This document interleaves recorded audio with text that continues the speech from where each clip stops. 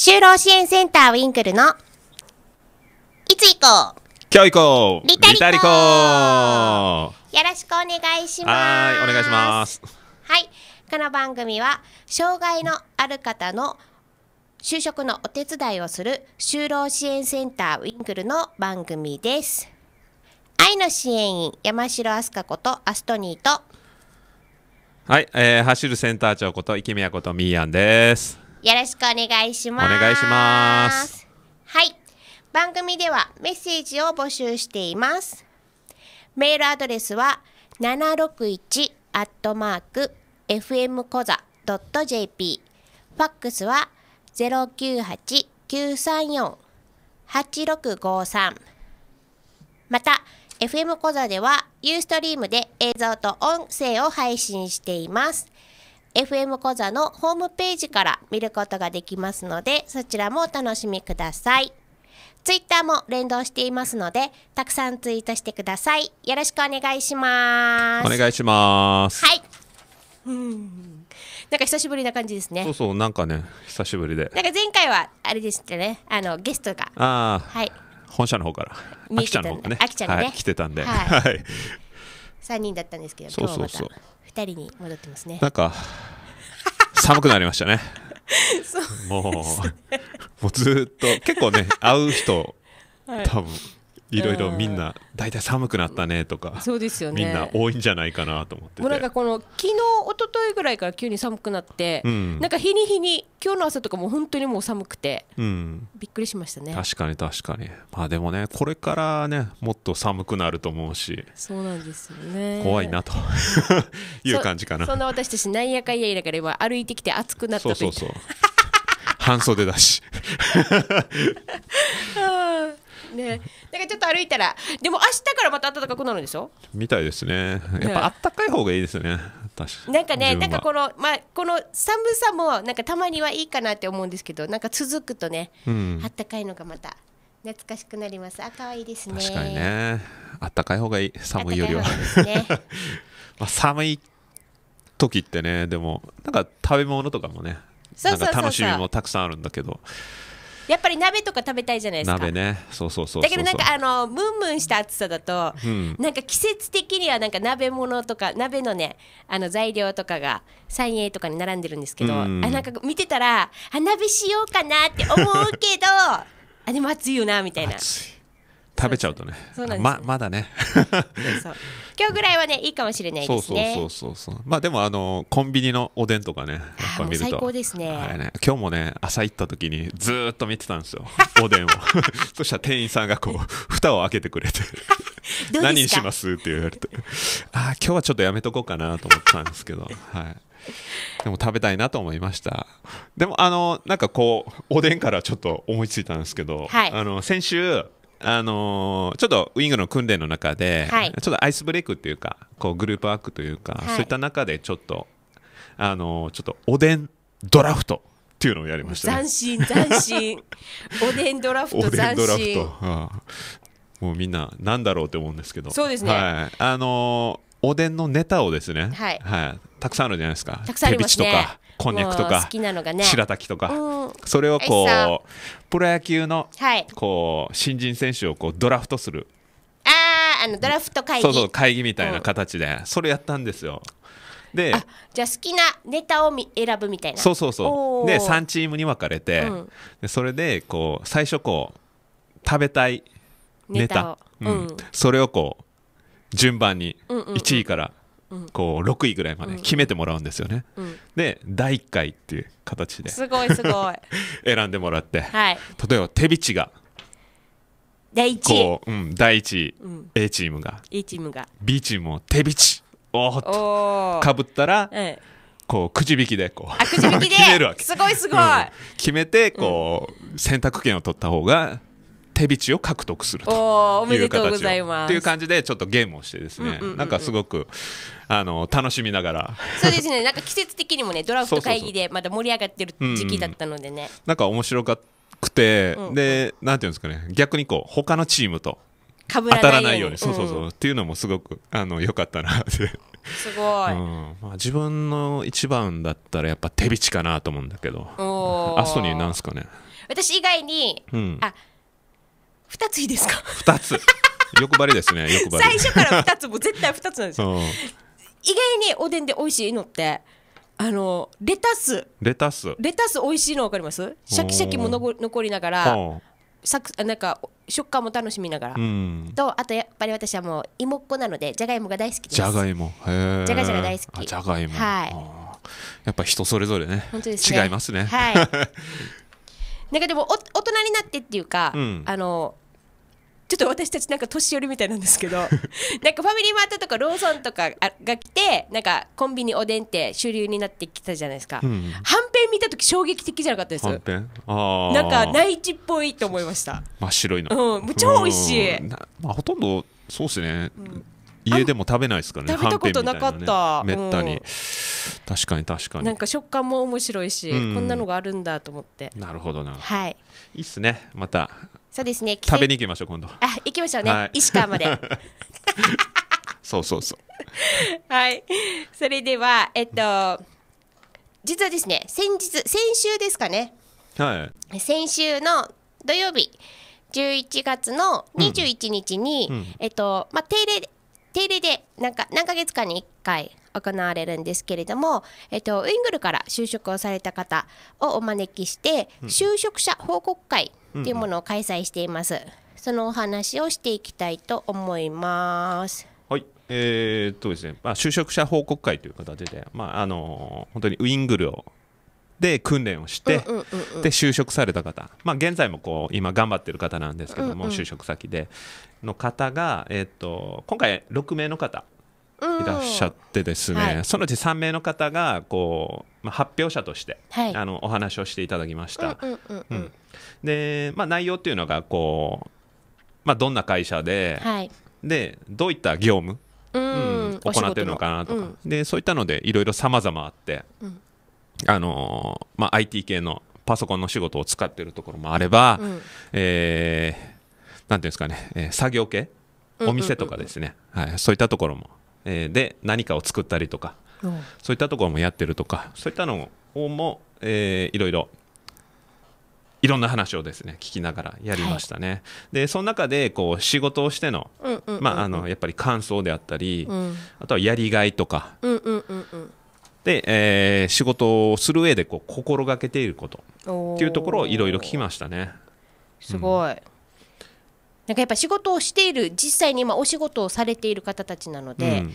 なんかこう深みがありますよね。言葉に言葉にも、うん。ねなんか実際働いてる働いていてこういうことをこうしてるとか、うん。こういう工夫してるとかっていう話ってすごいなんか参考になるというか、うん。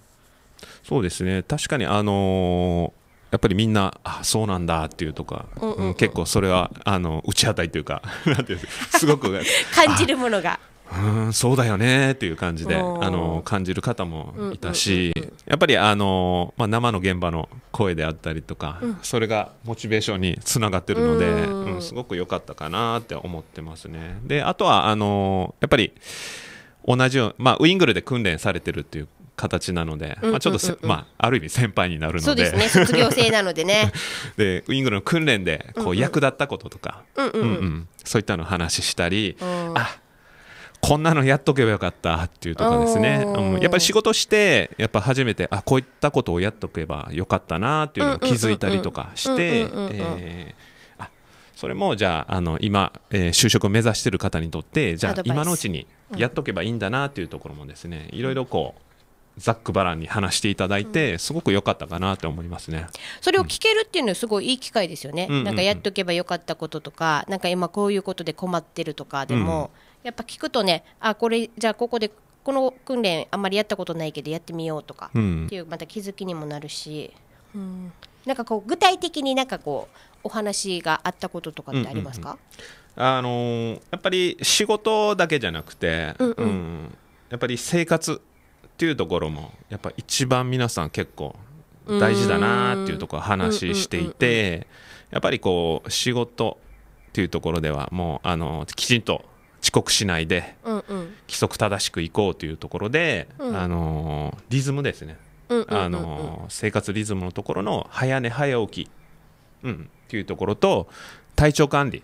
うん。うん、であったりあとは、えーストレスコントロールとかですね、まあ、休日皆さん休みをどうしてるかっていうところで、えーまあ一日寝てる方 まあなんていうんですかね。あの結構仕事もハードなので、うん。まあ、ゆっくり休まれてる方もいれば、まあ、逆にあの外に出たりとか、まあ、買い物行ったりとか、うんうんうんうん。まあ、自分の趣味のゲームとか、うんうん。映画を見に行ったりとか、うん。そういった形でこういろいろ様々あったので、まあ、そういったところでリフレッシュして、うんうん。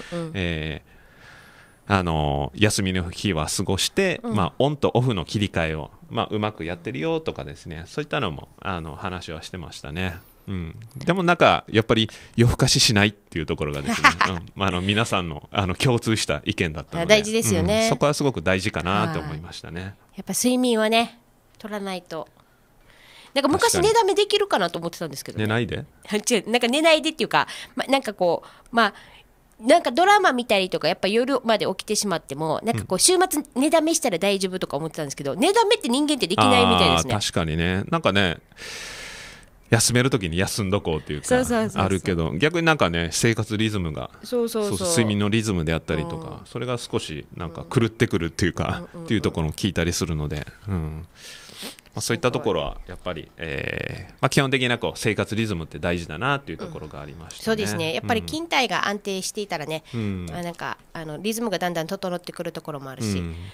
逆にお仕事をするとある程度ねあのシフトでお仕事してる方とかもいらっしゃるかと思うんですけど1日やっぱり7時間とか8時間、56時間からまあ78時間とかお仕事するとやっぱそれだけね活動してるので夜もある程度ね眠りやすくもなるかもしれないですね。うん、そうですね、まあ、適度に体も、ねうんうん疲れ動かしてながら。うんうんそういった意味ですごく充実できてるんじゃないかなと思いますね。であとはその他にこう仕事で逆に、まあ、いいことばっかりではないと思うので、まあ、やっぱり失敗というところっていうか、あの仕事でうまくいかない場合も、うん。まあ、あったっていうところで、うん。それについてどう解決したかっていうところもあったんだけど、うん。あのお一人の方はこう惣菜とか作るうん。あの業務の方がいらっしゃったんですけどうん。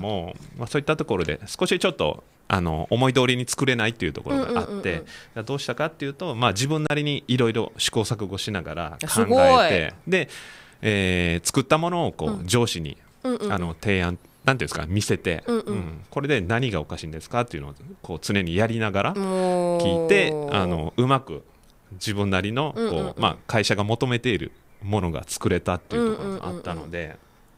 なんていうんですかねあのどんどんこう自分から発信していって、うんうん。こうやったらどうですかとかあこの作成したんだけどどうですかとかですねいろいろ聞いてたっていうので結構積極的にこうすごく進めてた方っていうのはすごくこう良かったかなと思いますね。本当ですね。感動しますね、うん。なんか発信ができて。しかも提案してそれがねやっぱりうん。自分の自信にもなるし。そうそうそう。であとはあのーあと一人の方もやっぱり最初やっぱりこう仕事、うん。まあ、ウイングの訓練からし職場っていうのに、まあ、正式に移って環境が変わるというところで、まあ、どうしていいかわからないとかであったりとか、えー結構ひなんていうんですかね質問したりとか、うんうんうんうん。うんこのこんな質問していいのかなとかこういう方も中にはいらっしゃると思うんですけども、こういったところも、えー最初は一人で悩んでたみたいなんですけども、うんうんうんうん。まあ、ある時をきっかけにも基本的にもう自分が気になったことはもうどんどん質問するようにして、うんうんうんうん。うんそれで少しずつ解決していって、まあうん相談ってすごく大事なんだなと、うん。うん。っていうところで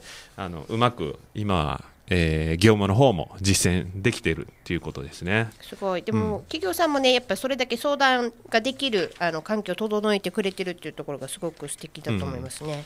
なので、まあ、最初はその発表とかもやってもらって、その後にフリータイムっていう形で、うん。あのまあ、テーブルにあの卒業生の方と、うん。えーまあ、現在訓練されてる方が、うんうんうんうんまあ、一緒にごちゃ混ぜになって、でいろいろこう卒業生あー訓練生の方かうんうんうんうんらいろんな質問を。おーすごい、うんこういう時どうしたらいいですか？とかですね、今心がけてることとか、困ったことってどうしてるんですか？っていうのを、まあ、それぞれがこういろいろ回答していただいて、うん。まあ、あのすごく盛り上がってましたね。おーすごい、い、なんかでもそういう機会ってすごい大事ですよね。やっぱそうですね。まあ、質問以外にもねなんか個人的な質問とかでも受ける時間があれば、うんうん。まあ、そういったのってまた、えーやりたいなって思っています。はい、まあ、定期的にね卒業生の方を招いて報告会やユンタク会を実施しているので、すごくメンバーさんにとってもモチベーションアップにつながったりとか就職活動に向けてのねヒントなども得られるすごく良い機会になるので継続してやっていきたいと思います。はい。まあすごく大事な機会なのでね、はいまあ定期的にはいやっていきたいと思います。はいではここで1曲曲をお届けしたいと思います。少しあの先ほどから寒い寒いと言ってる私たちなんですけど、あの牧原紀之さんの「冬が始まるよ」をここでおかけしたいと思います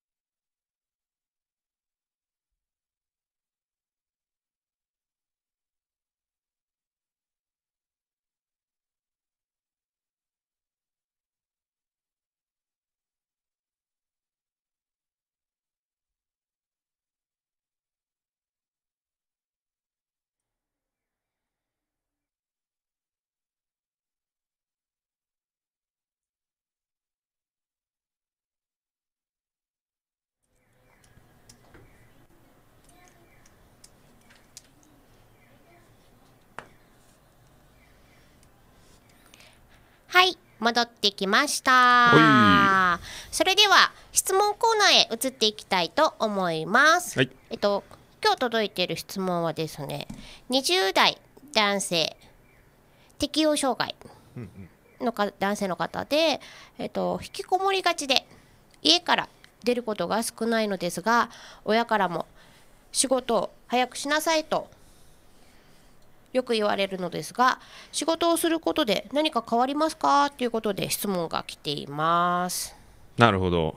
はい。まあ、まあねちょっと、あそうですよね。の適応障害というところで、うんうんうん。まあ、その外に出たりとか、うん。はい、そういったところはちょっと苦手なとこはあるかとは思うんですけども、確かに、あのーまあ、障害がなくても例えばこう確かあの家にずっといると親からもうんうんうんうん。確かに言われたりはするなっていうのはあると思うんですけども、はい。まあ、私もそうですね。そんな時期あったなと思って、ねみんなありますよね。うん、なんか絶対絶対絶対っていうかあると思うし、うんうん。まあ、親御さんもねもちろんあのなんだっけ煩わしくて言ってるのではなくてね、うんうんうん。本当は心配もありながら言ってるかと思うんですけどね、うんんん。そういうところはねやっぱ親としてそうですね。あるとは思うんですけども、はい。まあ、仕事をすることでこう、うんまあ、何が、えー変わるかっていうところで、まあ、まずはうーんまあ、自宅にずっといるっていうことは、多分おそらくまあテレビを見たりとか、うんうんうん。まあ、あのぱりこうだらだら過ごしてしまうっていうところは多いのかなってはすごく感じてるんですけども、やっぱ仕事をすることってやっぱりこう、えー仕事の時間ってやっぱり一日の中であると思うので、まあ、そういったところで生活であったり生活リズム、そういったところが変わってくるかなと思いますね。うん。うん。でそこからこう例えばこう働くことで、まあ、給料がいただけるので。イエーイ、うん。欲しいよね。で まあ、自分の買いたいもの。あそうですね、うん。趣味とかね。そうそう趣味にの使えたりとか、えーまあ、ゲーム買いたい人はうんうんうんうん。ゲーム買ったりとか、まあ、いろんなものが買えたりするとかあとは挑戦したいこと、やりたいことうんうんうんっていうところもできるのかな、あー。何かこう旅行に行き旅行に行ったたいとか。ねスキューバの資格取ったりとか、うん、そういったところが、まあ、うんうん。いろいろなことが、えーできるので、うんうんうん。まあ、選択肢っていうかねその幅が広がって、うんうんうんうんうん。うん人生がこう大きく変わっていくのかなって思いますね。そうですね。実際ね、本当に、まあ、さっきもねあの就職者報告会の中でも言ってたんですけどやっぱ生活リズムが大事っていうところもあると思うので、まあ、1日ね24時間あって、まあ、その中で仕事する時間とかプライベートの時間でオンオフでね切り分けることでまた日々充実していくこともあるだろうしね。うん、そうですね、まあ、あのそういったところでこういろんなやっぱ仕事って毎日同じことの繰り,、まあ、繰り返しの仕事もあると思うんですけども、うんうんうんうん。それ以外にいろんなことが経験できるかなと思ってうんうんてうんうん。でその中でやっぱりあの仕事であったり、うん。まあ、人と関わるっていうところも当然出てくるので、うんうんうん。そういった意味であのなんかいろんなことを経験して、まあ、成長できる、うんうんうん。まあ、チャンスだと思うんですよね。まあ、そういったところでこう、えー日々のやっぱりこうやりたくないこととか、うんうん。まあ、モチベーションがこう今日は行きたくないなとかですね、いろいろあると思うんですけども、うん。そういったところのやっぱりひ一日一日の積み重ねでこう経験して、まあ、成長できる、うんうんうん。まあ、それが最後こうやっぱりあの多くのうんあの自分自身にとっての,、あのプラスに、決してマイナスはないと思うので、うん。やっぱりプラスになるためにやっぱりいろんなことにチャレンジする。っていうところが必要かなって思ってます。そうですね、うん。あとねやっぱりもうなんかこう、まあ、一歩踏み出すっていうところにね、まあ、すごく不安を感じるところもあるかもしれないけど、まあ、その仕事についてもそこでずっと働き続けないといけないっていうこともないと思うんですよ。うん、そうですね。その経験をねあの私たちもやっぱりいろいろな仕事を経験して今があるのでなんかねこの仕事で経験したことをまた次の仕事に生かせるぐらいの気持ちで、うん。なんかいろいろね就職活動とかもやって、うん。お仕事に応募していただければなって思うところもありますね、私は。確かに確かに、まあ、そういったところでいろいろあの一つのことに、うんうんうんうん。ね、仕事は一つじゃないから、うんまあ、選択肢って自分が持ってるので、うんうん。まあ、いろんなことにねチャレンジしたりとか、はい。まあ、そういった働くことで、うん。やっぱり人生って本当に大きく変わるかなと思うんですけども、やっぱりあの失敗したりとか、うんうんうん。時にあるあって、まあ、うん。嫌だなって思うこともあるんですけども、うんうん。まあ、あのやっぱり人生経験を重ねていくうちに、ううん。ん。やっぱりあのいろんなことに挑戦してうん。対応したいろんなことを経験できたっていうところがすごくいいかなと思うので、まあはい。